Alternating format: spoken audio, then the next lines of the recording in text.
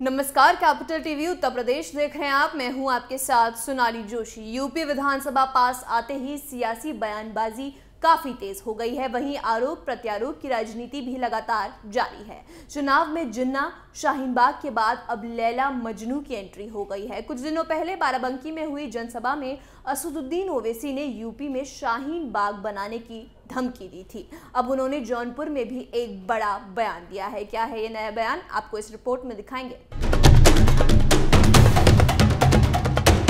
खुद को दूसरी पार्टियों का एजेंट बताने से बौखलाए असुद्दीन ओवैसी ने पलटवार करते हुए खुद को लैला कहा है। एआईएमआईएम प्रमुख ने कहा कि वो लैला हैं और ये तमाम उनके मजनू हैं। असुद्दीन ओवैसी ने जौनपुर में चुनावी रैली को संबोधित किया।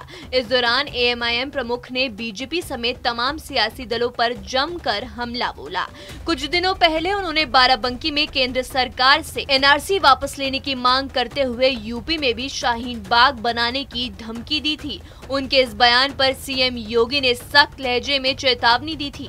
यूपी विधानसभा चुनाव पास आते ही सभी दल सत्ता पर काबिज होने का सपना देख रहे हैं। यही वजह है कि अटपटी बयानबाजी देने से भी नहीं चूक रहे हैं। सियासी दलों के नेता जनता का ध्यान रख, अपनी तरफ़ खींचने के लिए बयानबाजी करते रहे हैं। इसी कड़ी में अखिलेश यादव ने जिन्ना का ज़िक्र कर सियासी तूफ़ान ला दिया था, उसके बाद ओवैसी ने यूपी को शाहीन बाग बताने की धमकी दी थी। अब एक बार फिर ओवैसी ने खुद को लैला और दूसरे दलों को उनका मजनू बता दिया है। इससे पहले ओवैसी ने तीन कृषि कानून वापस लिए जाने के बाद सी और एनआरसी वापस लेने की बात कही थी। उन्होंने चेतावनी देते हुए कहा था कि अगर उनकी बात नहीं सुनी गई तो यूपी को शाहीन बाग बना दिया जाएगा। उनके इस बयान पर कानपुर में सीएम योगी ने सख्त लहजे में चेतावनी दी थी। अब एक बार फिर अटपटा बयान देकर ओवैसी ने यूपी की जनता का ध्यान खुद की तरफ़ खींचने की कोशिश की है। यूपी विधानसभा चुनाव में अब लगातार बयानबाजी का दौर शुरू हो गया है। कभी विपक्ष सरकार पे हमलावार है तो कहीं जिन्ना का ज़िक्र।